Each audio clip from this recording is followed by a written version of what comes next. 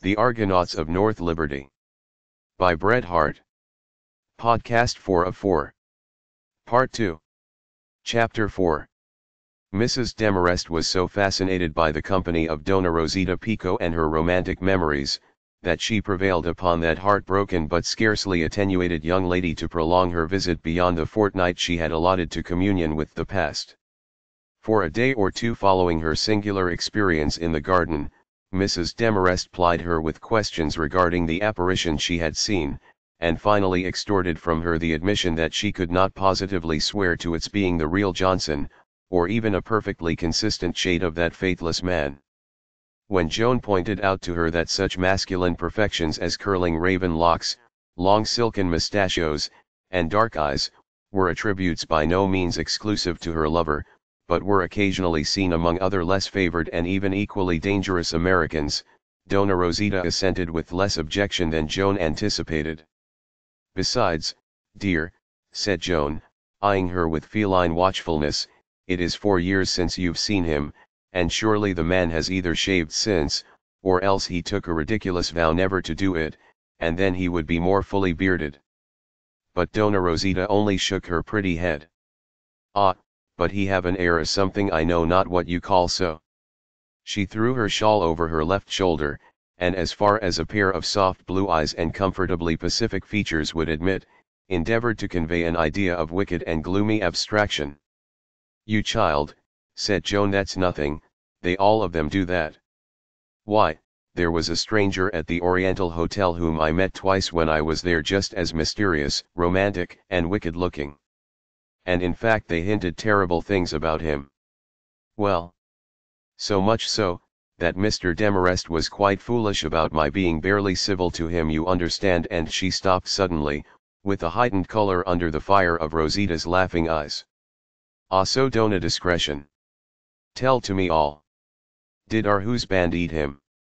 Joan's features suddenly tightened to their old Puritan rigidity. Mr. Demarest has reasons abundant reasons to thoroughly understand and trust me, she replied in an austere voice. Rosita looked at her a moment in mystification and then shrugged her shoulders. The conversation dropped.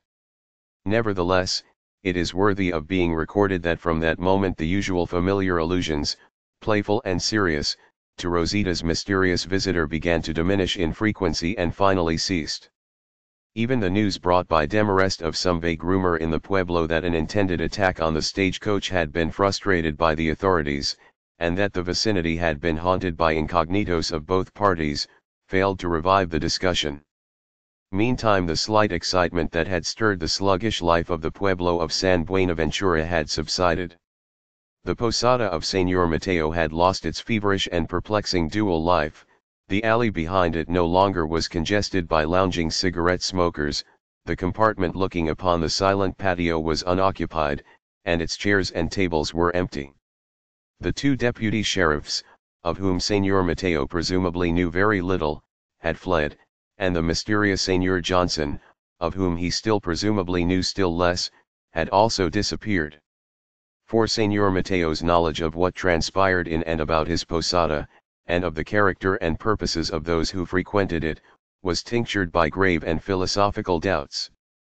This courteous and dignified scepticism generally took the formula of quien sabe to all frivolous and mundane inquiry.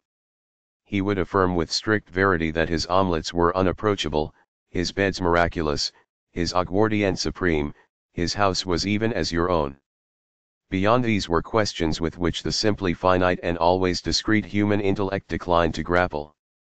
The disturbing effect of Senor Corwin upon a mind thus gravely constituted may be easily imagined. Besides Ezekiel's inordinate capacity for useless or indiscreet information, it was undeniable that his patent medicines had effected a certain peaceful revolutionary movement in San Buenaventura. A simple and superstitious community that had steadily resisted the practical domestic and agricultural American improvements, succumbed to the occult healing influences of the panacea and Jones bitters the virtues of a mysterious balsam, more or less illuminated with a colored mythological label, deeply impressed them, and the exhibition of a circular, whereon a celestial visitant was represented as descending with a gross of Rogers pills to a suffering but admiring multitude, touched their religious sympathies to such an extent that the good Padre Jose was obliged to warn them from the pulpit of the diabolical character of their heresies of healing with the natural result of yet more dangerously advertising Ezekiel. There were those too who spoke under their breath of the miraculous efficacy of these nostrums.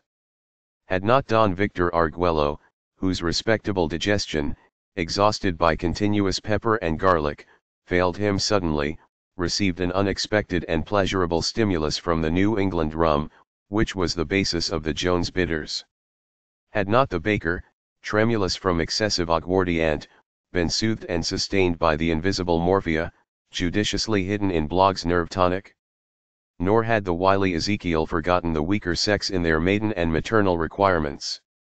Unguents, that made silken their black but somewhat coarsely fibrous tresses, opened charming possibilities to the senoritas, while soothing syrups lent a peaceful repose to many a distracted mother's household. The success of Ezekiel was so marked as to justify his return at the end of three weeks with a fresh assortment and an undiminished audacity. It was on his second visit that the sceptical, non-committal policy of Senor Mateo was sorely tried. Arriving at the posada one night, Ezekiel became aware that his host was engaged in some mysterious conference with a visitor who had entered through the ordinary public room. The view which the acute Ezekiel managed to get of the stranger, however, was productive of no further discovery than that he bore a faint and disreputable resemblance to Blandford, and was handsome after a conscious, reckless fashion, with an air of mingled bravado and conceit.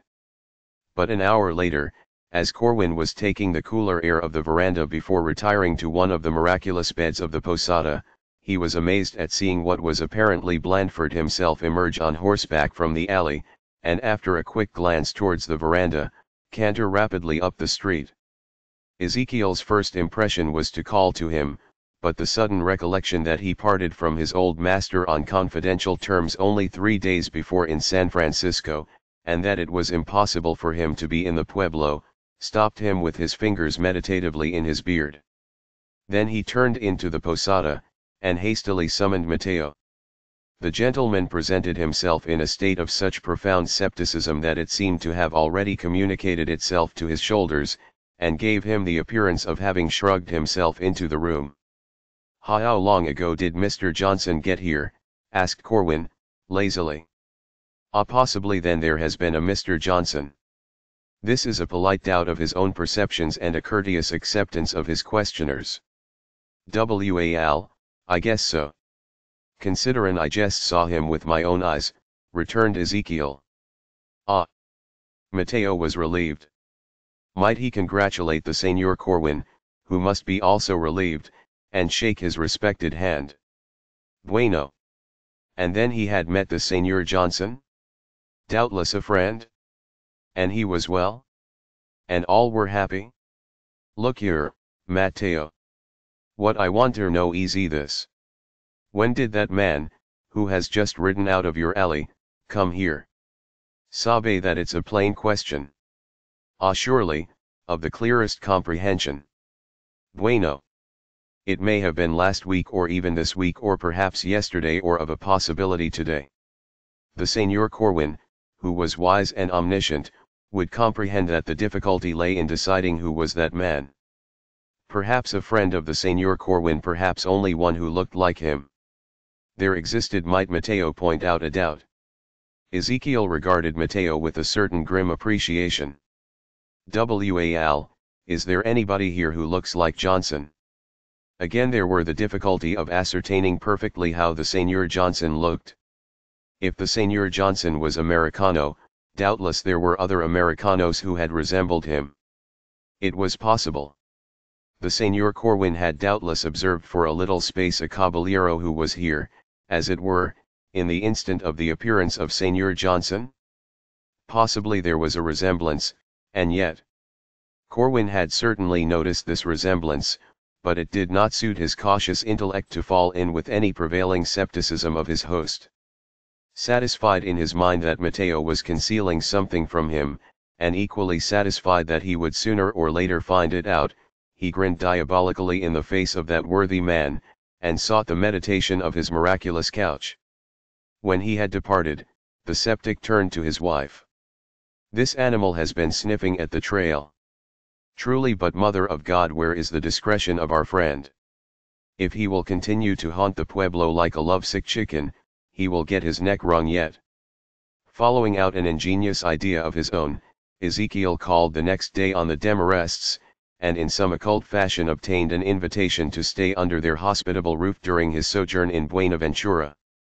Perfectly aware that he owed this courtesy more to Joan than to her husband, it is probable that his grim enjoyment was not diminished by the fact, while Joan, for reasons of her own, preferred the constraint which the presence of another visitor put upon Demarest's uxoriousness. Of late, too, there were times when Dona Rosita's naive intelligence, which was not unlike the embarrassing perceptions of a bright and half-spoiled child, was in her way, and she would willingly have shared the young lady's company with her husband had Demarest shown any sympathy for the girl. It was in the faint hope that Ezekiel might in some way beguile Rosita's wandering attention that she had invited him. The only difficulty lay in his uncouthness, and in presenting to the heiress of the Picos a man who had been formerly her own servant. Had she attempted to conceal that fact she was satisfied that Ezekiel's independence and natural predilection for embarrassing situations would have inevitably revealed it. She had even gone so far as to consider the propriety of investing him with a poor relationship to her family, when Dona Rosita herself happily stopped all further trouble. On her very first introduction to him, that charming young lady at once accepted him as a lunatic whose brains were turned by occult, scientific, and medical study. Ah! She, Rosita, had heard of such cases before. Had not a paternal ancestor of hers, one Don Diego Castro, believed he had discovered the elixir of youth. Had he not to that end refused even to wash him the hand, to cut him the nail of the finger and the hair of the head? Exalted by that discovery, had he not been unsparingly uncomplimentary to all humanity, especially to the weaker sex? Even as the Senor Corwin. Far from being offended at this ingenious interpretation of his character, Ezekiel exhibited a dry gratification over it, and even conceived an unwholesome admiration of the fair critic, he haunted her presence and preoccupied her society far beyond Joan's most sanguine expectations. He sat in open-mouthed enjoyment of her at the table, he waylaid her in the garden, he attempted to teach her English. Dona Rosita received these extraordinary advances in a no less extraordinary manner. In the scant masculine atmosphere of the house, and the somewhat rigid New England reserve that still pervaded it, perhaps she languished a little, and was not averse to a slight flirtation, even with a madman. Besides, she assumed the attitude of exercising a wholesome restraint over him. If we are not found dead in our bed one morning, and extracted of our blood for a cordial, you shall thank to me for it, she said to Joan. Also for the not empoisoning of the coffee. So she permitted him to carry a chair or hammock for her into the garden, to fetch the various articles which she was continually losing, and which he found with his usual penetration, and to supply her with information, in which, however, he exercised an unwonted caution. On the other hand, certain naive recollections and admissions, which in the quality of a voluble child she occasionally imparted to this madman in return, were in the proportion of three to one. It had been a hot day, and even the usual sunset breeze had failed that evening to rock the tops of the outlying pine trees or cool the heated tiles of the Pueblo roofs. There was a hush and latent expectancy in the air that reacted upon the people with feverish unrest and uneasiness, even a lull in the faintly whispering garden around the Demarest's casa had affected the spirits of its inmates, causing them to wander about in vague restlessness. Joan had disappeared, Dona Rosita, under an olive tree in one of the deserted paths, and attended by the faithful Ezekiel, had said it was earthquake weather, and recalled, with the sign of the cross, a certain dreadful day of her childhood, when El Temblor had shaken down one of the mission towers. You shall see it now, as he have left it so it has remain always, she added with superstitious gravity. That's just the lazy shiftlessness of your folks, responded Ezekiel with prompt ungallantry. It ain't no wonder the Lord Almighty hez to stir you up now and then to keep you goin'. Dona Rosita gazed at him with simple childish pity. Poor man, it have affect you also in the head, this weather. so. It was even so with the uncle of my father. Hush up yourself, and bring to me the box of chocolates of my table. I will give to you one. You shall for one time have something pleasant on the end of your tongue, even if you must swallow him after. Ezekiel grinned. Ya ain't afraid O'Bane left alone with the ghost that haunts the garden, Miss Rosita. After you never are are. I'll find Mrs. Demarest and send her to ye, said Ezekiel, hesitatingly. Eh, to attract here the ghost? Thank you, no, very much. Ezekiel's face contracted until nothing but his bright peering gray eyes could be seen. Attract the ghost, he echoed. Then you calculate that it's he stopped, insinuatingly. Rosita brought her fan sharply over his knuckles, and immediately opened it again over her half-embarrassed face. I comprehend not anything to a calculati. Will you go, Don Fantastico, or is it for me to bring to you? Ezekiel flew. He quickly found the chocolates and returned, but was disconcerted on arriving under the olive tree to find Dona Rosita no longer in the hammock. He turned into a bypath, where an extraordinary circumstance attracted his attention. The air was perfectly still, but the leaves of a manzanita bush near the misshapen cactus were slightly agitated. Presently Ezekiel saw the stealthy figure of a man emerge from behind it and approach the cactus. Reaching his hand cautiously towards the plant, the stranger detached something from one of its thorns, and instantly disappeared. The quick eyes of Ezekiel had seen that it was a letter, his unerring perception of faces recognized at the same moment that the intruder was none other than the handsome, reckless-looking man he had seen the other day in conference with Mateo. But Ezekiel was not the only witness of this strange intrusion. A few paces from him, Dona Rosita, unconscious of his return, was gazing in a half-frightened, breathless absorption in the direction of the stranger's flight. W.A.L., drawled Ezekiel lazily. She started and turned towards him. Her face was pale and alarmed, and yet to the critical eye of Ezekiel it seemed to wear an expression of gratified relief. She laughed faintly. F that's the kind o ghost you hev about yer, it's a healthy one, drawled Ezekiel. He turned and fixed his keen eyes on Rosita's face. I wonder what kind o fruit grows on the cactus that he's so fond of. Either she had not seen the abstraction of the letter, or his acting was perfect, for she returned his look unwaveringly. The fruit, eh? I have not comprehend. W.A.L., I reckon I will, said Ezekiel. He walked towards the cactus, there was nothing to be seen but its thorny spikes. He was confronted, however, by the sudden apparition of Joan from behind the manzanita at its side. She looked up and glanced from Ezekiel to Dona Rosita with an agitated air. Oh, you saw him too, she said eagerly. I reckon, answered Ezekiel, with his eyes still on Rosita. I was wondering what on earth he was so taken with that air cactus for. Rosita had become slightly pale again in the presence of her friend. Joan quietly pushed Ezekiel aside and put her arm around her. Are you frightened again, she asked, in a low whisper. Not mooch, returned Rosita, without lifting her eyes. It was only some peon, trespassing to pick blossoms for his sweetheart, she said significantly, with a glance towards Ezekiel. Let us go in. She passed her hand through Rosita's passive arm and led her towards the house, Ezekiel's penetrating eyes still following Rosita with an expression of gratified doubt. For once, however, that astute observer was wrong. When Mrs. Demarest had reached the house she slipped into her own room, and, bolting the door, drew from her bosom a letter which she had picked from the cactus thorn, and read it with a flushed face and eager eyes. It may have been the effect of the phenomenal weather, but the next day a malign influence seemed to pervade the Demarest household.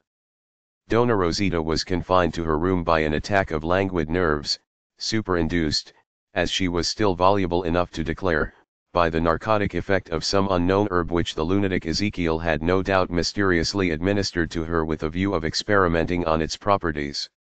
She even avowed that she must speedily return to Los Osos, before Ezekiel should further compromise her reputation by putting her on a colored label in place of the usual celestial distributor of the panacea.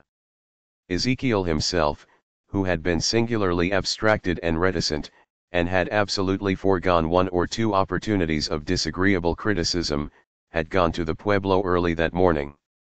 The house was comparatively silent and deserted when Demarest walked into his wife's boudoir. It was a pretty room, looking upon the garden, furnished with a singular mingling of her own inherited formal tastes and the more sensuous coloring and abandon of her new life. There were a great many rugs and hangings scattered in disorder around the room, and apparently purposeless, except for color, there was a bamboo lounge as large as a divan, with two or three cushions disposed on it, and a low chair that seemed the incarnation of indolence. Opposed to this, on the wall, was the rigid picture of her grandfather, who had apparently retired with his volume further into the canvas before the spectacle of this ungodly opulence, a large Bible on a funereal trestle-like stand, and the primmest and barest of writing tables, before which she was standing as at a sacrificial altar. With an almost mechanical movement she closed her portfolio as her husband entered, and also shut the lid of a small box with a slight snap. This suggested exclusion of him from her previous occupation, whatever it might have been, caused a faint shadow of pain to pass across his loving eyes. He cast a glance at his wife as if mutely asking her to sit beside him, but she drew a chair to the table, and with her elbow resting on the box, resignedly awaited his speech. I don't mean to disturb you, darling, he said, gently, but as we were alone, I thought we might have one of our old-fashioned talks, and... Don't let it be so old-fashioned as to include North Liberty again, she interrupted, wearily. We've had quite enough of that since I returned. I thought you found fault with me then for forgetting the past. But let that pass, dear, it is not our affairs I wanted to talk to you about now, he said, stifling a sigh, it's about your friend. Please don't misunderstand what I am going to say, nor that I interpose except from necessity. She turned her dark brown eyes in his direction, but her glance passed abstractedly over his head into the garden. It's a matter perfectly well known to me and, I fear, to all our servants also that somebody is making clandestine visits to our garden. I would not trouble you before, until I ascertain the object of these visits. It is quite plain to me now that Dona Rosita is that object, and that communications are secretly carried on between her and some unknown stranger. He has been here once or twice before, he was here again yesterday. Ezekiel saw him and saw her. Together, asked Mrs. Demarest, sharply. No, but it was evident that there was some understanding, and that some communication passed between them. Well, said Mrs. Demarest, with repressed impatience. It is equally evident, Joan, that this stranger is a man who does not dare to approach your friend in her own house, nor more openly in this, but who, with her connivance, uses us to carry on an intrigue which may be perfectly innocent, but is certainly compromising to all concerned. I am quite willing to believe that Dona Rosita is only romantic and reckless, but that will not prevent her from becoming a dupe of some rascal who dare not face us openly, and who certainly does not act as her equal. Well, Rosita is no chicken, and you are not her guardian. There was a vague heartlessness, more in her voice than in her words, that touched him as her cold indifference to himself had never done, and for an instant stung his crushed spirit to revolt. No he said, sternly, but I am her father's friend, and I shall not allow his daughter to be compromised under my roof. Her eyes sprang up to meet his in hatred as promptly as they once had met in love. And since when, Richard Demarest, have you become so particular, she began, with dry asperity. Since you lured me from the side of my wedded husband. Since you met me clandestinely in trains and made love to me under an assumed name. Since you followed me to my house under the pretext of being my husband's friend, and forced me yes, forced me to see you secretly under my mother's roof? Did you think of compromising me then? Did you think of ruining my reputation, of driving my husband from his home in despair? Did you call yourself a rascal then? Did you? Stop, he said, in a voice that shook the rafters, I command you, stop. She had gradually worked herself from a deliberately insulting precision into an hysterical, and it is to be feared a virtuous, conviction of her wrongs. Beginning only with the instinct to taunt and wound the man before her, she had been led by a secret consciousness of something else he did not know to anticipate his reproach and justify herself in a wild feminine abandonment of emotion. But she stopped at his words. For a moment she was even thrilled again by the strength and imperiousness she had loved. They were facing each other after five years of mistaken passion, even as they had faced each other that night in her mother's kitchen. But the grave of that dead passion yawned between them. It was Joan who broke the silence, that after her single outburst seemed to fill and oppress the room. As far as Rosita is concerned, she said, with affected calmness, she is going tonight. And you probably will not be troubled any longer by your mysterious visitor. Whether he heeded the sarcastic significance of her last sentence, or even heard her at all, he did not reply. For a moment he turned his blazing eyes full upon her, and then without a word strode from the room. She walked to the door and stood uneasily listening in the passage until she heard the clatter of hoofs in the paved patio, and knew that he had ordered his horse. Then she turned back relieved to her room. It was already sunset when Demarest drew rein again at the entrance of the corral, and the last stroke of the Angelus was ringing from the mission tower. He looked haggard and exhausted, and his horse was flecked with foam and dirt. Wherever he had been, or for what object, or whether, objectless and dazed, he had simply sought to lose himself in aimlessly wandering over the dry yellow hills or in careering furiously among his own wild cattle on the arid, brittle plain, whether he had beaten all thought from his brain with the jarring leap of his horse, or whether he had pursued some vague and elusive determination to his own door, is not essential to this brief chronicle. Enough that when he dismounted he drew a pistol from his holster and replaced it in his pocket. He had just pushed open the gate of the corral as he led in his horse by the bridle, when he noticed another horse tethered among some cottonwoods that shaded the outer wall of his garden. As he gazed, the figure of a man swung lightly from one of the upper boughs of a cottonwood on the wall and disappeared on the other side. It was evidently the clandestine visitor. Demarest was in no mood for trifling hurriedly driving his horse into the enclosure with a sharp cut of his riata, he closed the gate upon him, slipped past the intervening space into the patio, and then unnoticed into the upper part of the garden. Taking a narrow bypath in the direction of the cottonwoods that could be seen above the wall, he presently came in sight of the object of his search moving stealthily towards the house. It was the work of a moment only to dash forward and seize him, to find himself engaged in a sharp wrestle, to half draw his pistol as he struggled with his captive in the open. But once in the clearer light, he started, his grasp of the stranger relaxed, and he fell back in bewildered terror. Edward Blandford. Good God! The pistol had dropped from his hand as he leaned breathless against a tree. The stranger kicked the weapon contemptuously aside. Then quietly adjusting his disordered dress, and picking the brambles from his sleeve, he said with the same air of disdain, Yes. Edward Blandford, whom you thought dead. There.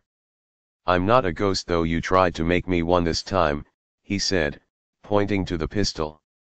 Demarest passed his hand across his white face. Then it's you and you have come here for for Joan.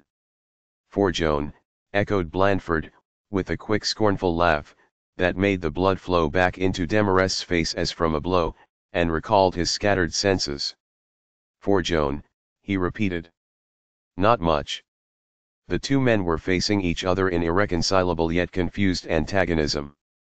Both were still excited and combative from their late physical struggle, but with feelings so widely different that it would have been impossible for either to have comprehended the other.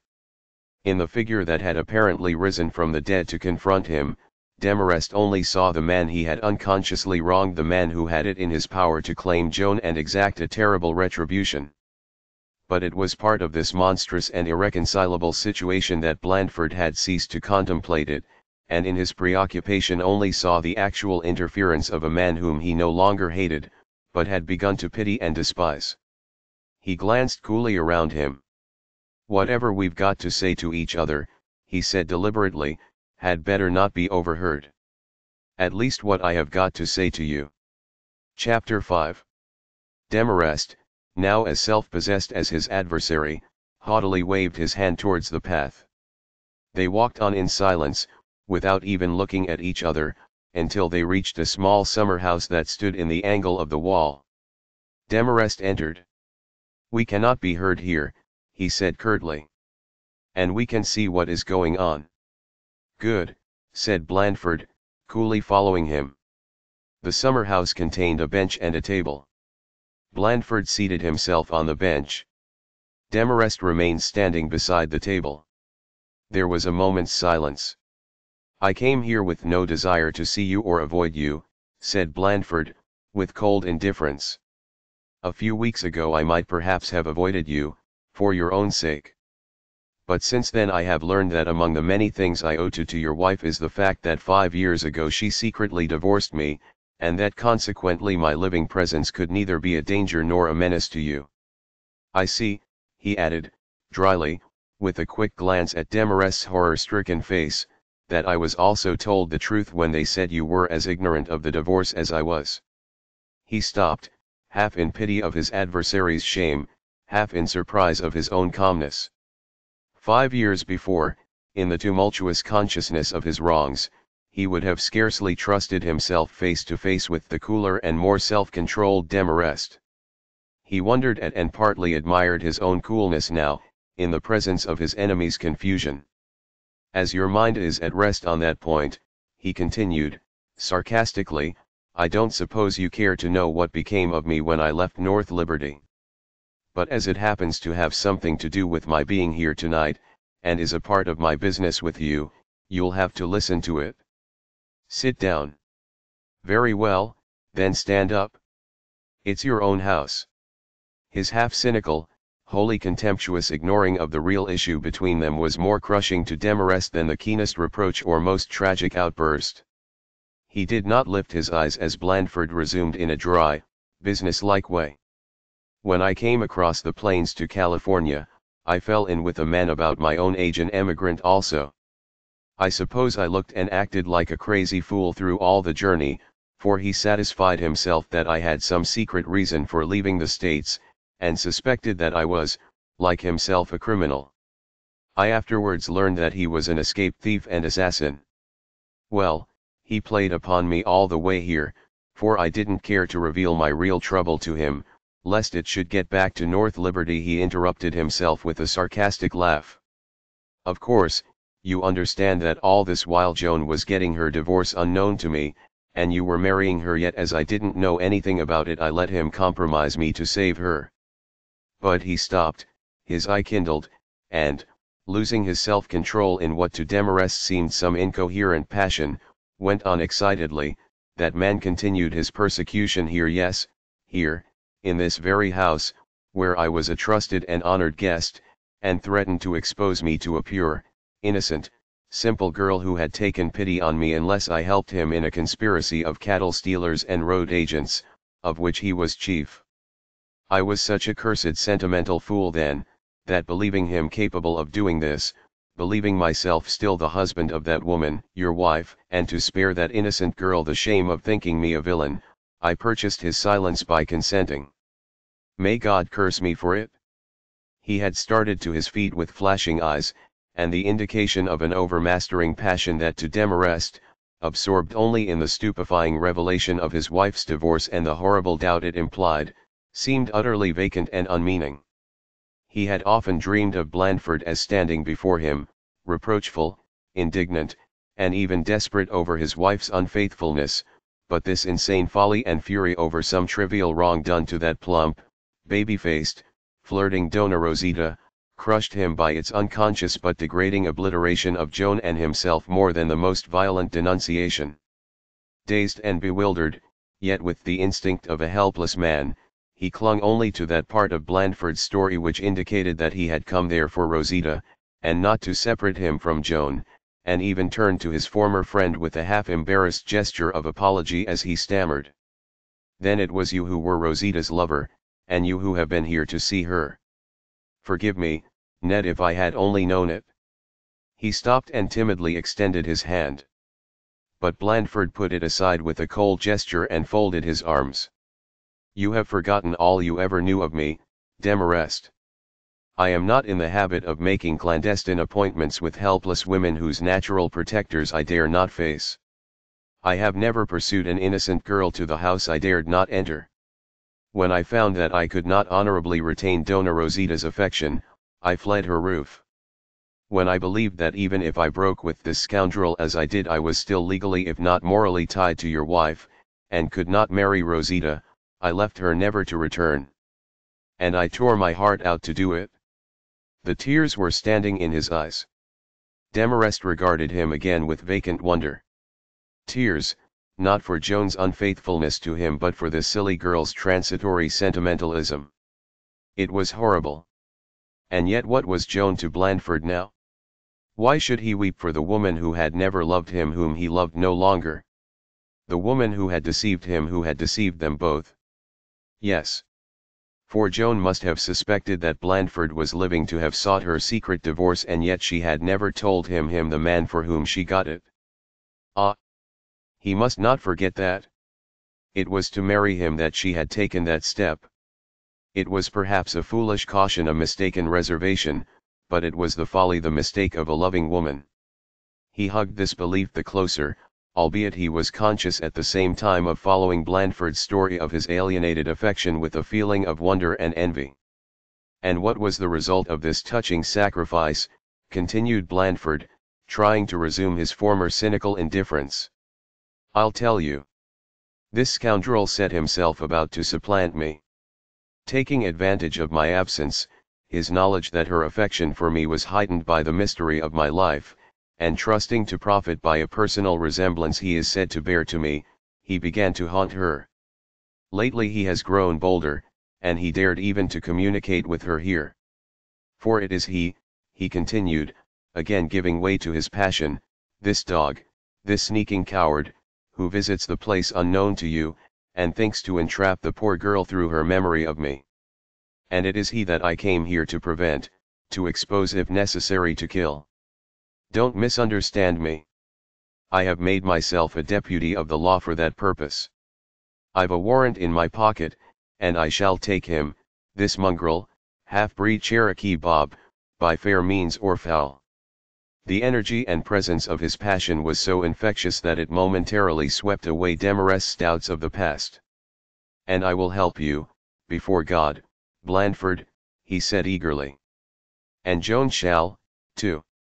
She will find out from Rosita how far. Thank you, interrupted Blandford, dryly, but your wife has already interfered in this matter, to my cost. It is to her, I believe, I owe this wretch's following Rosita here. She already knows this man has met him twice in San Francisco, he even boasts of your jealousy. You know best how far he lied but Demarest had braced himself against the chill sensation that had begun to creep over him as Blandford spoke. He nerved himself and said, proudly, I forbade her knowing him on account of his reputation solely. I have no reason to believe she has ever even wished to disobey me. A smile of scorn that had kindled in Blandford's eyes, darkened with a swift shadow of compassion as he glanced at Demarest's hard, ashen face. He held out his hand with a sudden impulse. Enough, I accept your offer, and shall put it to the test this very night. I know if you do not that Rosita is to leave here for Los Osos an hour from now in a private carriage, which your wife has ordered especially for her. The same information tells me that this villain and another of his gang will be in wait for the carriage three miles out of the pueblo to attack it and carry off the young girl. Are you mad? said Demarest, in unfeigned amazement.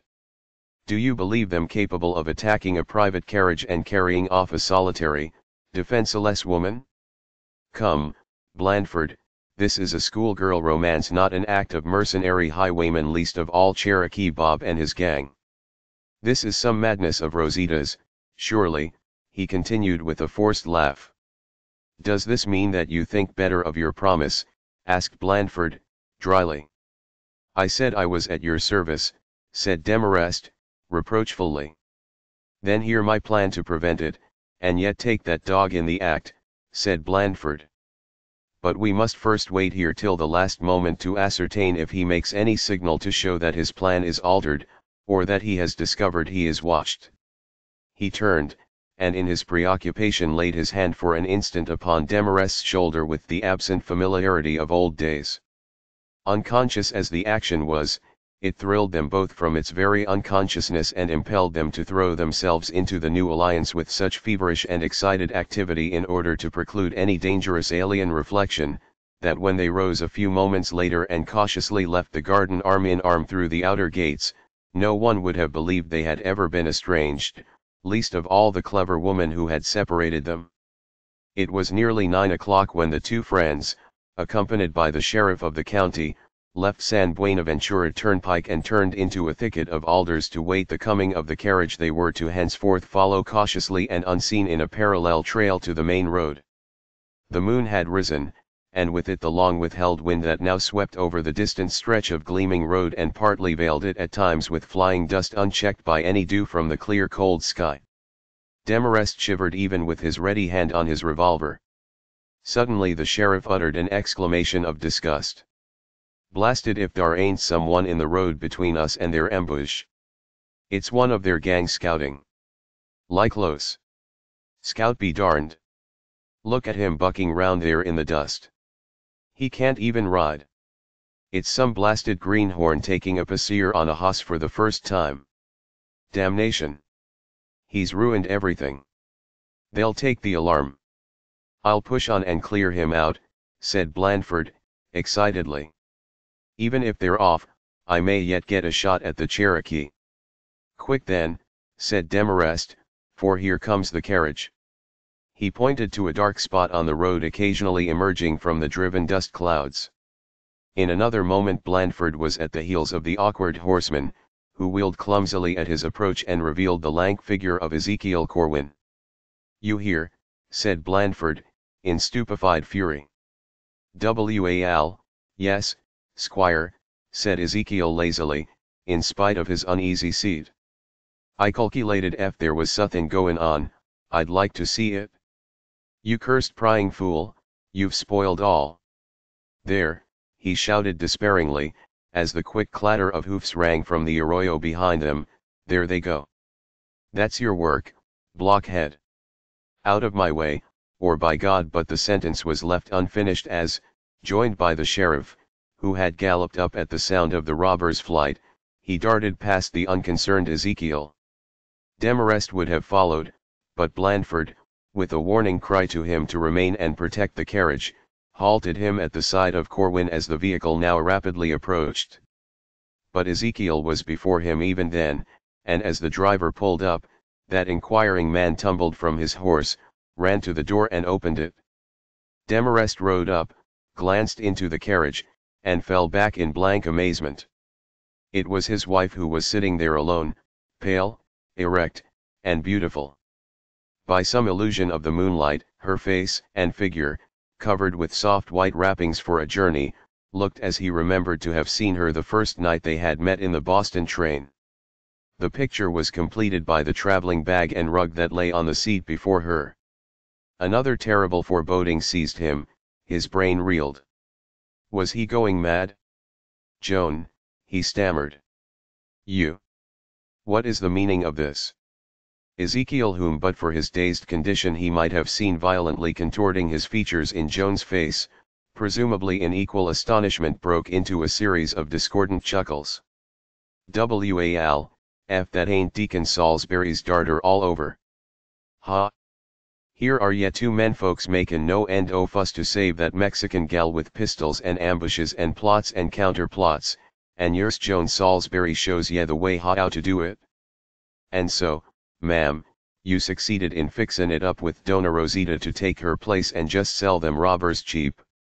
W.A.L., ma'am, you're sold this year party, too for he advanced his face close to hers I never let on a word, though I knew it, and although they nearly knocked me off my hoss in their fuss and fury. Ha! Ha! They wanted to know what I was doin' here, he he. Tell em, Joan, Tell M. Demarest gazed from one to another with a troubled face, yet one on which a faint relief was breaking. What does he mean, Joan? Speak, he said, almost imploringly. Joan, whose color was slightly returning, drew herself up with her old cold Puritan precision. After the scene you made this morning, Richard, when you chose to accuse your wife of unfaithfulness to her friend, her guest, and even your reputation, I resolved to go myself with Dona Rosita to Los Osos and explain the matter to her father.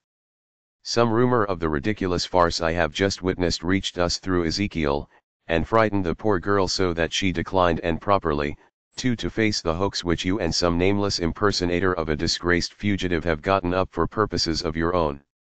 I wish you joy of your work. If the play is over now, I presume I may be allowed to proceed on my journey. Not yet, said Demarest slowly, with a face over which the chasing doubts had at last settled in a greyish pallor. Believe what you like, misunderstand me if you will, laugh at the danger you perhaps comprehend better than I do, but upon this road, wherever or to whatever it was leading you tonight you go no further. Then I suppose I may return home, she said coldly. Ezekiel will accompany me back to protect me from robbers. Come, Ezekiel.